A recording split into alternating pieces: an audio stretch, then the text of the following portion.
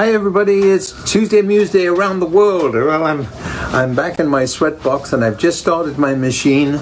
And uh, the last time I spoke to you, uh, when I was doing my my walk, my treadmill, can you believe it's two years now? It's almost two years. I was I was preparing for my my PBS special. I remember I was I, I was telling you I was going to lose some weight and I lost 30 pounds pretty good. Well, I thought I'd get back to back what I've been doing. I've been doing the treadmill most every day since then, just a little bit. But uh, so in my downtime, in my lockdown time, I'm uh, I'm over here talking to you and and telling you what uh, I'm doing on this particular day. It's a beautiful, sunshiny day today. You won't believe. What a day this has been. What a rare mood I'm in.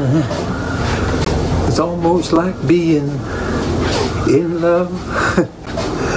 yeah. You know what? I just uh, I just thought I'd, I'd, get on here because I'm walking really slow because I want to keep my breath when I'm talking to you. But as soon as I'm finished talking to you, I'm going to speed this darn thing up and and get a big sweat on because this is a sweat box. And uh, you know, I've been I've had nothing to do over here today. So what I do, I'm thinking very seriously of, you know, going back to learning languages a little bit more. I'll speed it up a little bit now, okay? To learning languages because when I finish all being well, when we get back on the road and the tours are rebooked and and I get to go back and I'm going to go to Europe and I'll uh, have to learn how to communicate with the people over there. We're going to play Germany again, and you know, I learn how to how to communicate and say hello in in German. Uh, you know, ich freue mich hier bei Ihnen zu sein. You know, you know that sort of thing, and. Uh, and I, I, that's the only country that I have really have to learn the language because most of the uh, other countries, most languages, most people, most countries speak English now. So you know, but the only time when I when I play Russia, I have to have an interpreter, not to sing for me, but to talk for me and introduce things.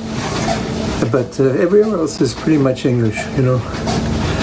And uh, I hope you're doing your you're working out while you, while we're having while we're having a downtime in lockdown time. I think it's very important. Okay, a healthy mind has a healthy body. A healthy body has a healthy mind. So do that, okay? And I'm going to stop moving now. So I'll see you guys next week, okay? So from, from me to you, all over the world, stay safe, stay in, and stay healthy. God bless you all. Bye.